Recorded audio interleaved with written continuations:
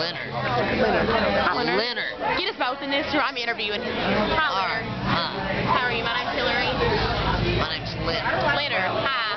So, what what do you do? Well, I got this new show. It's called Old Folk. I've seen that a few times. Yeah. It's so good. Yeah, it's real nice.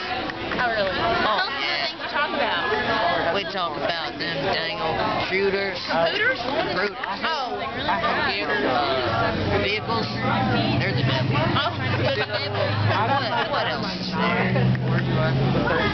What about the war in Iraq? The war in Iraq. That's the topic coming up. Might as well hit it now while we're here. Let's hit it. What about Barack Obama, too? I don't like him.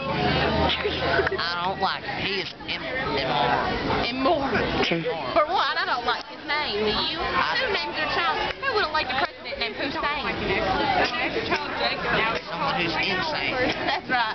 That is right. That is totally What's his last name? Obama? Yep. Who's bomb in his name? He's gonna bomb America. Bomb. Bomb and insane. Bomb in don't- America. Bomb in He Hussein. bombed America. That's what he I don't like him. All right. So tell me about female problems. I heard that, you know, Oh. I heard about some female Oh. problems. I was- now, what, from what I hear is that your wife has some crazy female problems. She does. Oh, she's an emotional basket case. isn't? She's a basket case. Oh, tell me She's some got a lazy eye. Kind of wanders on me. I don't know what she's looking at, do I can't look her straight in the face. It's, it's that hard. She's got a little muscle. It's worse than mine. And she talks like this. Hey, hey, honey, get over here. I'm like, oh, no, dang. Is she trans? She trans at that? I don't know. How, how's the sex? Is it good? My toes are now. It's nauseating. Well, let's not talk about that. It's kind of gross. Very awkward.